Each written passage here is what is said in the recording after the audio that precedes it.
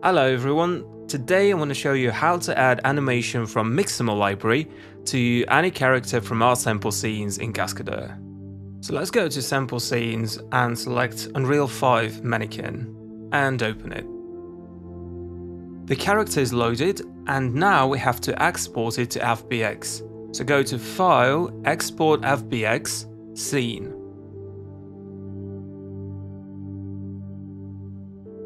And let's save it here to a Mixamo folder. Let's name it Unreal Engine 5.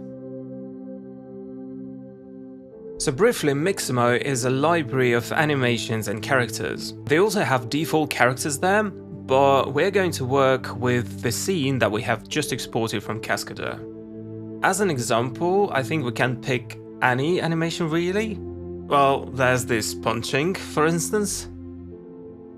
Now press pause and let's replace this ninja with our character from Cascadeur. Click Upload Character, and here we can just drag and drop our file to Mixamo. And let it upload for a while.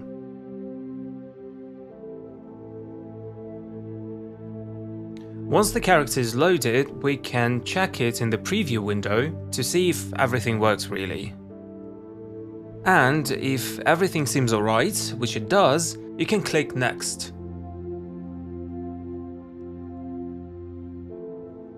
And now we can instantly see our character with this punching animation applied to it.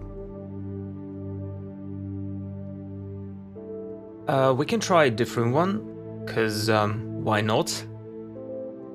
Well, Capoeira seems to be an interesting one. I had to double check it on the internet to see if I pronounced it correctly. I think it looks cool, so let's try to use it with our character. So we have the animation here, and now we need to export it from Mixamo. Click download and let's check the settings. We keep FBX as our format, 30 frames per second. The only thing we need to export it without skin because we already have the mesh in Cascadeur and we want to avoid any possible issues with tracks and layers which we already have set up for our character. So we're just going to download the joint rig with animation and import it into our scene in Cascadeur. Now let me show you how to do that. So here we change nothing except for choosing without skin and click download. Now we go back to Cascadeur, go to File, New Scene,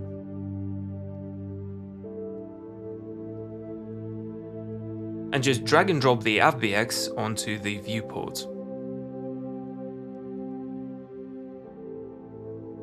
So the animation that we've downloaded is a bit longer, so let's set the timeline to say 200 frames.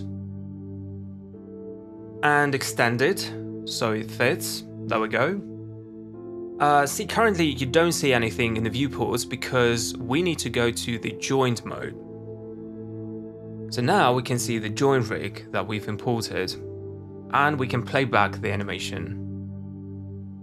Now to copy all the animation, select the whole rig and all the frames on the timeline, all the 144 frames of the animation. And yes, I'm still trying to avoid saying capoeira as much as I can. Now we go back to our previous scene, switch to the joint mode as well, and select all the joints of our character. Now we'll make sure that we have enough frames on the timeline to fit the animation. Let's set it to, say, 150. We extend it and select all the frames on the timeline. Even if you select more frames, it's not a big deal. Just make sure you've selected enough frames to fit the animation.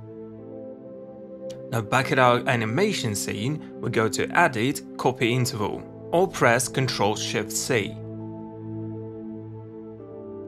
And in our character scene, we go Edit, Paste Interval, or Ctrl Shift V. And we have our animation.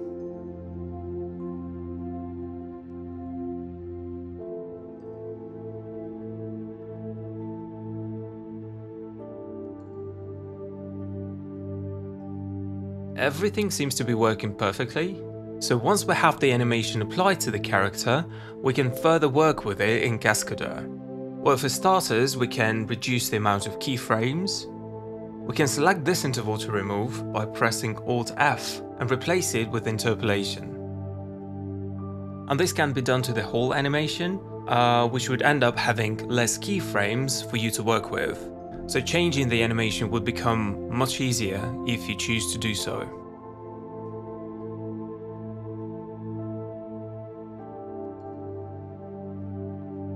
You can shorten some intervals, change some trajectories, raise a hand, a leg, you name it, and make any changes that you see fit.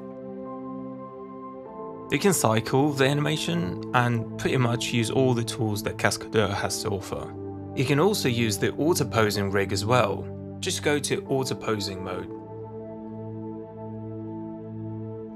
Now, in order to work with this kind of animation in auto posing mode, what you can do is double click the pivot point to select all the points of the rig, then select all the frames on the timeline, activate interval edit mode, and click Auto Posing Switch Lock. So what it does, it activates all the points of the rig, making them blue, so that the pose would not break. It needs some time to calculate. And now you can use auto posing for your animation, which is a much more convenient way to animate in Cascadeur. You can select the knees, the elbows, and chest, and deactivate them which would allow auto-posing to calculate their positions automatically. It especially makes sense when you reduce the amount of keyframes to make sure you have better control over the poses on the keyframes that you chose to keep. Or maybe you can just use it to work on a specific pose at a specific keyframe. In the future, this whole process of reducing the amount of keyframes, activating the key points, will be fully automated in Cascadeur, which will make the whole process much easier. And that's it. I hope you found this tutorial useful and thanks for watching.